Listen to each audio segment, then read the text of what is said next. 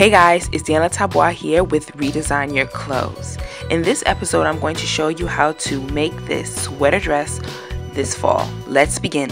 Two yards to two and a half yards of sweater fabric depending on your size, scissors, pin, ruler, and measuring tape not shown here. Lastly, a sweater dress that fits you nice. This one is one of my favorites, so I will be using it for this tutorial. Fold your fabric edge to edge, selvage to selvage. Then place your sweater dress on top and fold the dress at high to mid hip and place it towards the bottom of the fabric.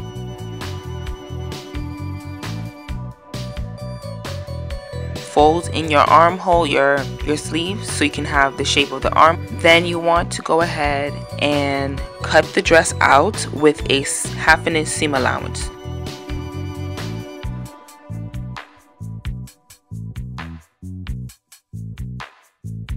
Once you cut it out, your dress is supposed to be about 28 to 29 inches. Then you want to go ahead and make sure that it's fully even. So I went ahead and folded in half and just knead up the edges like my armhole and the side seams. So you want to do that to make sure everything is identical.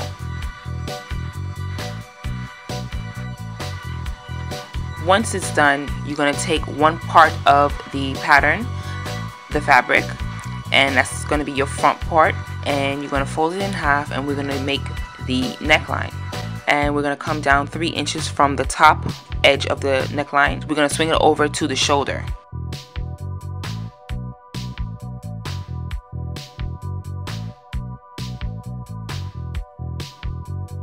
And it will look just like this. Now we're going to place the back portion onto the front and you're going to pin into place so you can stitch it down. You're going to stitch the side seam and the shoulders together. Once that's complete, it will look just like this. Now we're going to measure the bottom of the dress. The width of mine is 19. Yours can be more or less depending on your size. We are going to be creating our flounce hem. To do this, we're going to be using a round item. I'm using a cover of a container. You can use a plate or any round item that you have available. I'm going to be taking my measuring tape and I'm going to measure around the circle. Now if your circles are just a little bit bigger, you can always cut it away once you cut out your flounce. But um, I would recommend it to be just a little bit smaller than the size of the width of your bottom. And once you've done that, you can go ahead and decide how long you want your flounce to be. My flounce is 9 inches long. You can have it a little bit shorter if you want or go longer. Now you want to take your marking chalk and you want to mark the circle around onto the fabric. Should have a circle just like this. Then take your ruler and the measurement of the length you want your flounce to be, you're going to go ahead and mark it at the bottom of that circle. Follow that measurement all the way around that circle in the center so you can have a bigger circle on the outside. Once it's complete, you're going to go ahead and cut it out. It should be doubled so that way you have two pieces. Now one side we're going to go ahead and cut into the circle so we can get into the center and then we're going to cut away the circle in the center.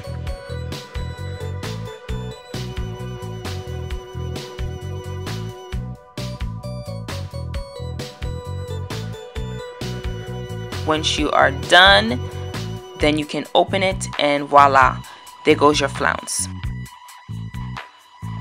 Now, I went ahead and separated it and um, placed it on the back hand side. And to see the length of the flounce, I went ahead and measured it with my sweater. And as I told you, because it's cut on a circle, there's a little bit of extra allowance. So I'm going to go ahead and cut that half an inch off on each side. You can do this if it's the same problem for you. Now we're back and it fits better now. So I'm going to go ahead and sew a half an inch uh, seam allowance at the sides. It's going to look just like this. I flip it and now I'm going to connect it to the bottom. And you want to pin it around so you can get ready to stitch it. I'm going to stitch a zigzag stitch so that way allow me to stretch it on and off. So I went ahead and cleaned my edges and I did an overlock stitching at the end of my flounce.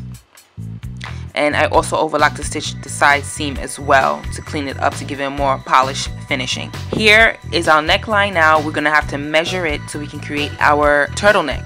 So take your measuring tape, measure the whole entire neckline as you see me here.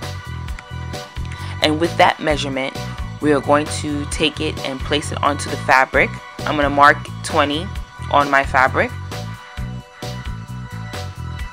as you see here.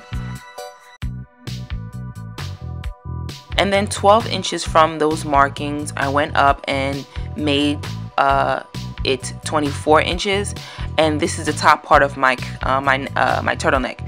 Now you can have it bigger by making it wider, but if you don't, you can also make it 24, which is pretty big. As you can see, I cut it out and it's on a diagonal because the bottom part is smaller than the top part of the, the turtleneck. You want to go ahead and cut it across just like I'm doing it here.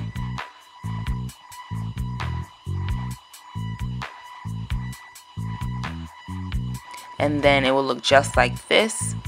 Then you want to turn it on the wrong side and sew it a half an inch seam allowance. And it will look just like this.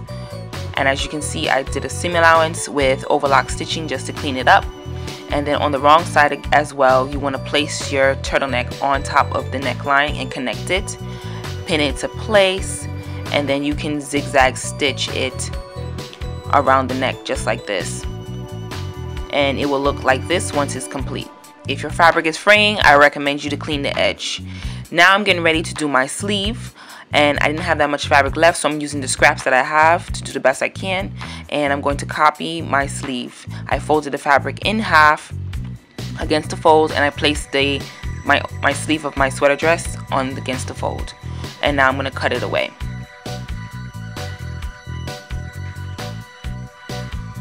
And here I am just pinning into place because I'm getting ready to cut off the top part of the armhole which I want to create a, more of a off the shoulder type of look so I came down three inches from the top, cut it off,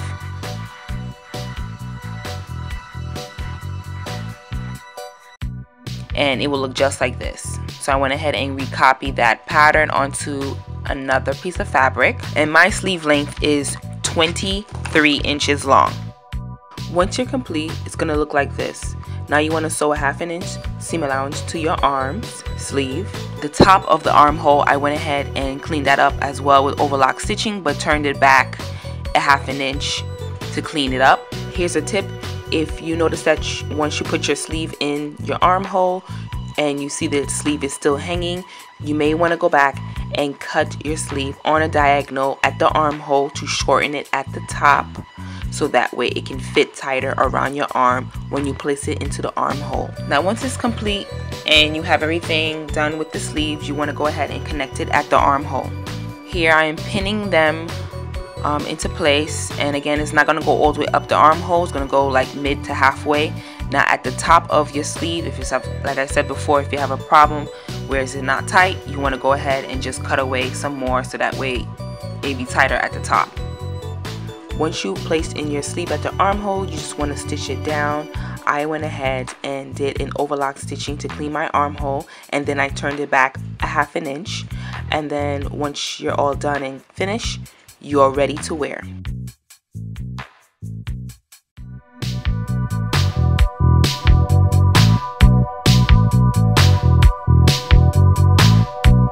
I hope you enjoyed this video.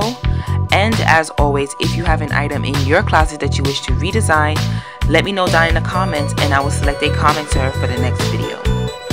Don't forget to subscribe if this is your first time, and I will see you guys in the next video. Bye guys.